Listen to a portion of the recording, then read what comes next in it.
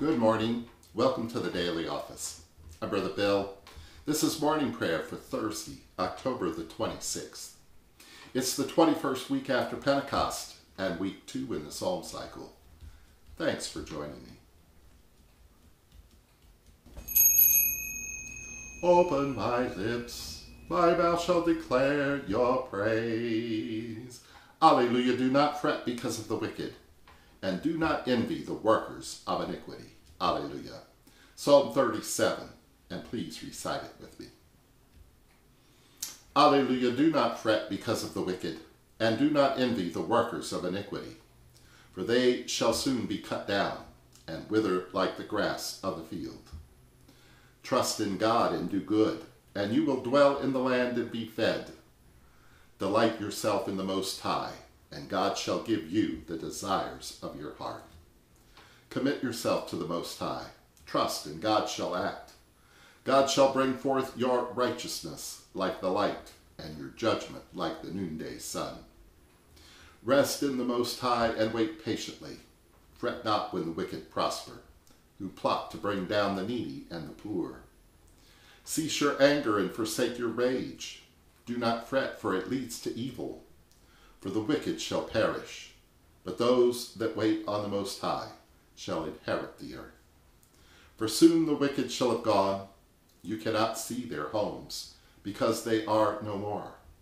But the meek shall inherit the earth, and enjoy abundance of peace. The wicked plot against the just, and gnash on them with their teeth. The Most High shall laugh at the wicked, for God sees that their day is coming. The wicked have drawn their sword and have bent their bow, to cast down the poor and the needy, and to slay the upright.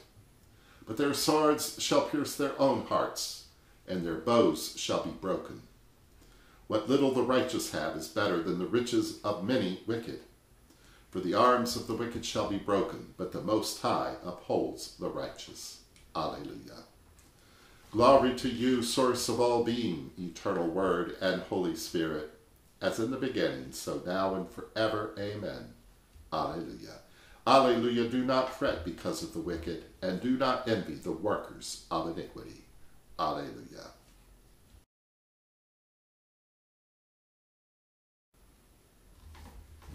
Ezra chapter 1, beginning at verse 1. In the first year of King Cyrus of Persia, to fulfill the word of the Most High from the mouth of Jeremiah, the Most High stirred up the spirit of King Cyrus of Persia, so that he made a proclamation throughout all his kingdom, and also in writing, saying, Thus says King Cyrus of Persia, The Most High, the God of heaven, has given me all the kingdoms of the earth, and he has charged me to build him a house in Jerusalem, which is in, Jeru in Judah. Let any of those among you who are of his people May their God be with them. Go up to Jerusalem and Judah and rebuild the house of the Most High, the God of Israel. He is the God who is in Jerusalem. And let all survivors in whatever place they reside be assisted by the people of their place with silver and gold, with goods and with livestock, besides freewill offerings for the house of God in Jerusalem. Then the heads of the families of Judah and Benjamin and the priests and the Levites, everyone whose spirit God had stirred, got ready to go up and rebuild the house of the Most High in Jerusalem. All their neighbors aided them with silver vessels, with gold, with goods, with livestock, and with valuable gifts, besides all that was freely offered. King Cyrus himself brought out the vessels of the house of the Most High, that Nebuchadnezzar had carried away from Jerusalem and placed in the house of his gods. King Cyrus of Persia had them released into the charge of uh, the treasurer, who counted them out to Sheshbazzar, the prince of Judah. And this was the inventory. Gold basins, 30. Silver basins, 1,000 knives 29, gold bowls 30, other silver bowls 410, other vessels 1,000, The total of the gold and silver vessels was 5,400. All of these the Sheshbazzar brought up when the exiles were brought up from Babylonia to Jerusalem. Here ends the lesson.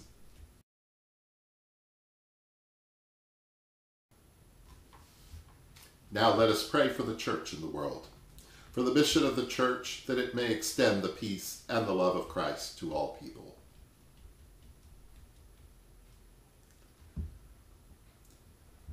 For Michael, our presiding bishop, for Jennifer Ann, our bishop, for Brother Joe, our community servant, for all church leaders, and for all clergy and ministers, that they may be ever faithful servants of word and sacrament. For unity in the church, that our scandalous divisions may be healed.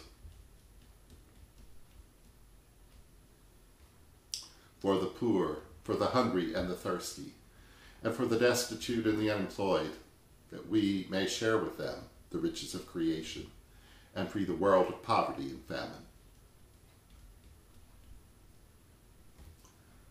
For Joe, our president, for Katie, our governor, and for all the leaders of this nation, city, and state, for the leaders of the nations of the world, that they may bring justice and peace in all of the earth. That God, who has begun this ministry, may bring it to fulfillment.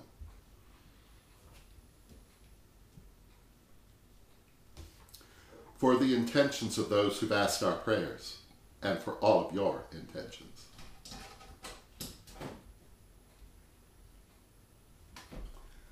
Our beloved, which art in heaven, holy is your name. Your kingdom come, your will be done, on earth as it is in heaven. Give us this day our daily bread Forgive us as we forgive others. Lead us not into temptation, but deliver us from evil. For the kingdom, the power, and the glory are yours, now and forever. Lead us in your paths, O God, and grant that we may ever find our delight in you. In Jesus' name we pray. Amen.